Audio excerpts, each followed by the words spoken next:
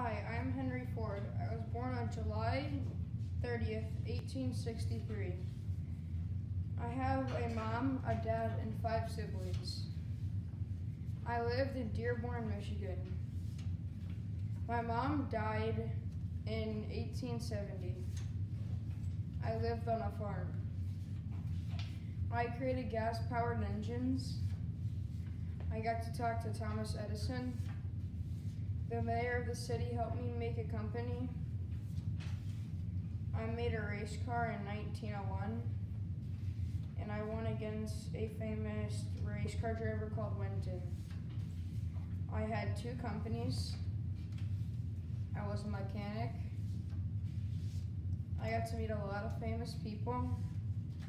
I got to travel all over the world. I created all sorts of cars.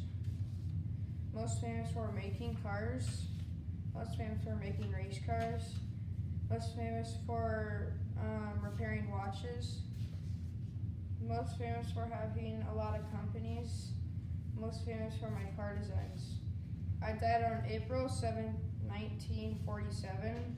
I died of natural causes. I made extra money by repairing watches, and I was America's second billionaire.